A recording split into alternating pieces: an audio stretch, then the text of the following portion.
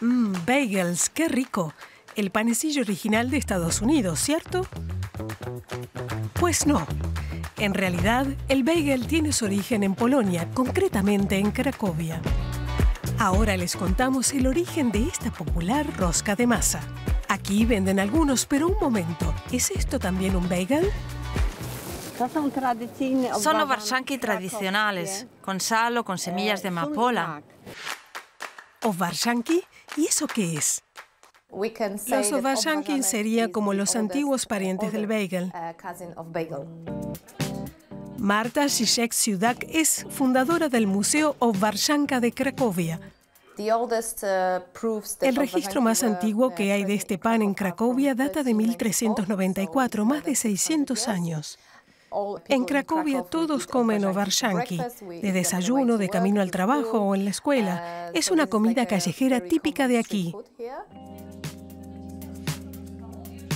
La principal diferencia con el bagel es que los ovarshanki son prácticamente dos tiras de masa enrolladas.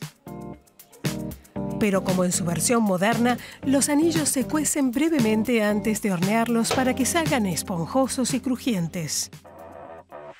¿Y cómo se hacen hoy los bagel? En la cafetería Blossom nos lo enseñan. Se dice que aquí se hacen los mejores. Claudia Batrova hornea entre 40 y 50 bagels al día. Están hechos con masa de levadura y decorados con semillas.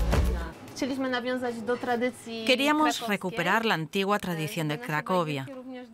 Nuestros bagels deben hornearse rápido y a la vez tienen que estar sabrosos.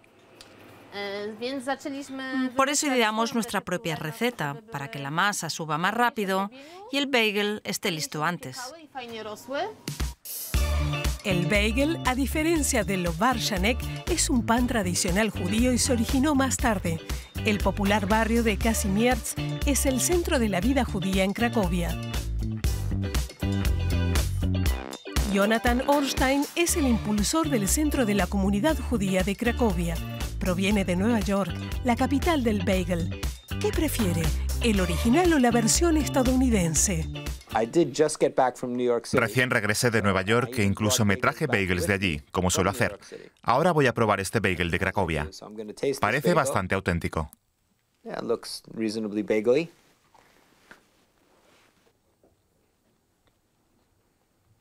Bastante bueno. No está nada mal para ser de Cracovia.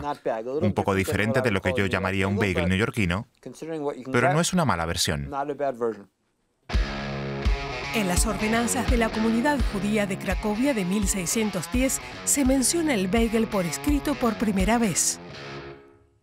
El bagel no forma parte de la práctica religiosa judía, es simplemente algo cultural. Un domingo por la mañana lo más tradicional que se puede tomar para desayunar o almorzar es un bagel con salmón ahumado o queso crema. Es algo muy judío.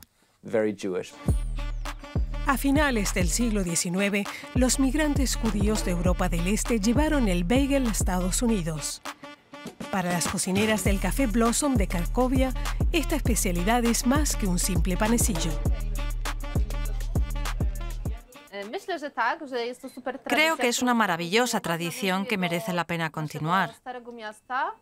El bagel está muy vinculado a nuestra ciudad, a las leyendas de la famosa Cracovia y a su historia. Pues ya lo saben, si quieren disfrutar de un buen bagel, tienen que ir a Cracovia, ya que aquí se encuentra el original.